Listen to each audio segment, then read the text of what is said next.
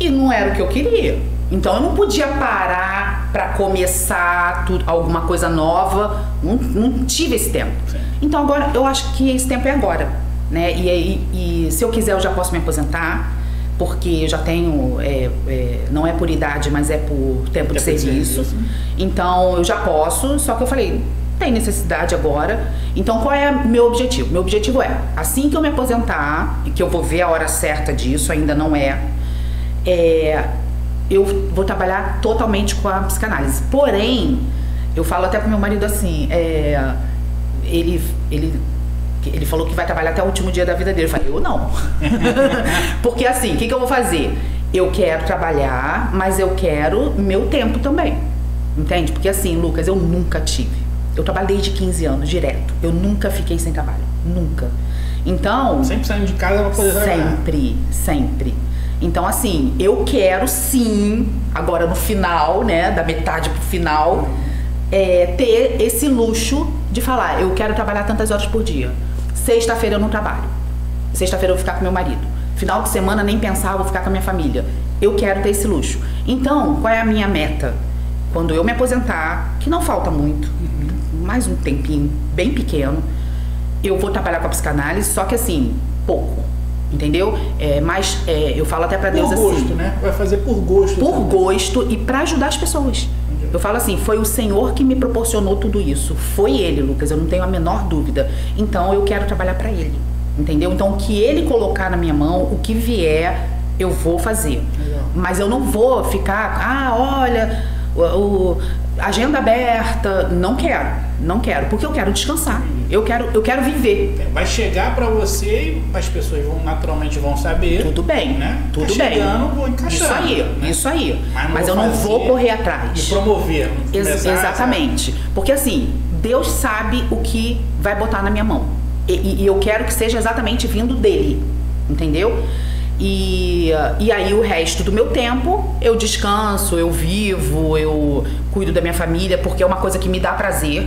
Eu ficar com a família, cuidar da família, Sim. é uma coisa que eu gosto, não é peso nenhum pra mim. Então eu quero, assim, da metade pra lá, viver isso. Entendeu? Legal, ah, legal. Vai acontecer, vai acontecer. Se Deus quiser. Vai acontecer.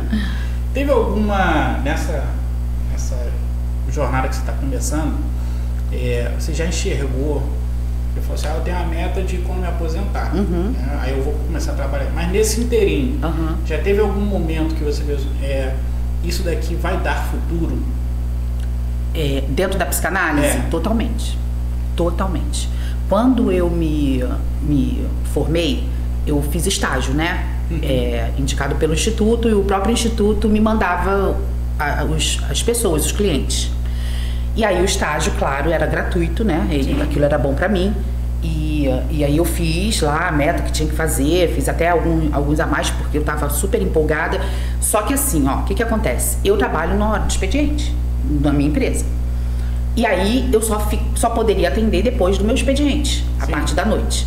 E aí o que que acontece? Eu ficava o, o dia inteiro trabalhando, pegava sete, sete e meia da manhã, saía lá às cinco, cinco e meia da tarde do trabalho e emendava, tinha dia que eu ia até uma hora da manhã, direto atendendo Só pra. direto. Então, aí, eu, quando eu me formei, eu comecei a cobrar, claro, né, com o valor da consulta e tal. E o próprio instituto me enviava os pagantes. Entendeu? Então, eu fiquei louca. Eu fiquei, eu falei, gente, e eu não dizia não, porque eu tava muito empolgada. Claro, né? Tava Bom, a, a experiência. é, e tá assim, o fruto de tudo aquilo que eu tinha estudado, que eu tinha, que eu tava fazendo, é, é, botando em prática, né? E aí tinha muita gente. Só que aí eu dei uma surtadinha. Porque também a minha sogra ficou com problema de saúde, foi exatamente nessa época, que foi setembro do ano passado. Não, foi fevereiro do ano passado. Durou até setembro, porque minha sogra faleceu em setembro.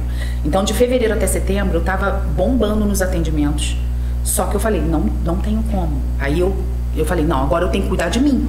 Porque senão, como é que eu vou cuidar do outro, né? Aí eu parei, parei. Parei um pouco antes, parei mais ou menos lá em julho, porque eu falei, não posso, porque eu vou cuidar dela. E do meu marido também, porque ele tava bem, Era- era- tava bem difícil. Sim. E aí eu parei, coloquei umas pessoas pra outras pessoas que eu, que eu confio muito, é, outros falaram que iam me esperar, enfim. Eu parei ali e aí ela faleceu em setembro, aí eu né, dei um tempo para respirar um pouco. Aquela... E agora eu tô retornando, só que eu tô retornando devagar. Por quê? Porque não consigo, eu percebi que eu não vou conseguir dar conta de mim. Eu dou conta dos atendimentos, dou conta dos outros, mas e eu? Então eu preciso também ter saúde emocional. Aquele tempinho para você preciso, se cuidar. Preciso, preciso ficar com meu marido pra gente conversar, como é que foi o dia, como é que não foi, é, ver alguma demanda que precisa de casa, do meu filho, Sim. da minha filha, enfim. Eu preciso disso porque eu gosto disso. Eu sou assim, entendeu? Então eu preciso ter esse tempo, coisa que eu não tava. Então essa parte aí de, de retorno da psicanálise tem sim, teria sim. Eu é que não quis por causa desses problemas todos. Mas quando eu me aposentar, eu vou ter o dia todo. E o próprio instituto, até hoje, claro, eu tenho um vínculo com eles, eles mesmo enviam. Legal. Muito legal. Essa, você como você está nessa, nas sessões, você absorve muito do cliente e aí, por isso você é cliente ou paciente? Cliente. cliente. É, paciente é só para médico. É bom saber. Uhum. saber mas você absorve muito daquilo que o, o, o cliente está contando, Sim. aquela carga emocional é transferida? Então, é, tem exatamente tem essa palavra chamada transferência, né, no, no atendimento, tanto dele para mim quanto de mim para ele. Legal. Existe isso, é transferência e contra-transferência. E existe porque nós somos seres humanos. Não tem como uma pessoa ali me contando a história da vida dela, porque, como eu te falei, a psicanálise ela vai lá desde o útero da mãe, quando você estava no útero da sua mãe. E aí você vem relatando o que você lembra, né?